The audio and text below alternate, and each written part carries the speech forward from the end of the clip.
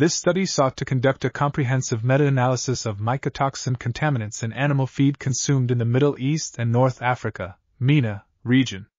49 articles were reviewed and 49 articles that investigated the contamination of mycotoxins including aflatoxins, AFs, deoxynivalenol, DON, zearalenone, ZA, T2 toxin, fumonisin, FUM, and ochratoxin A, OTA, in feed samples or components of animal feed in the MENA region were selected.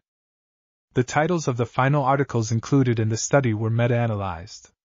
Information was then extracted and categorized from the articles, and a meta analysis was performed using Stata software. The highest contamination was found in dry bread, 80%, and Algeria was the most contaminated country, 87% of animal feed, with the most mycotoxins contaminating AFs, 47%, and FUM, 47%. The highest concentration of mycotoxins in animal feed is related to FUM, 1240.0. This article was authored by Ghader Jalilzadeh-Amin, Baram Dalar Naghata, Masood Ahmadnejadeh Saldavghani, and others. We are RTCL.TV, links in the description below.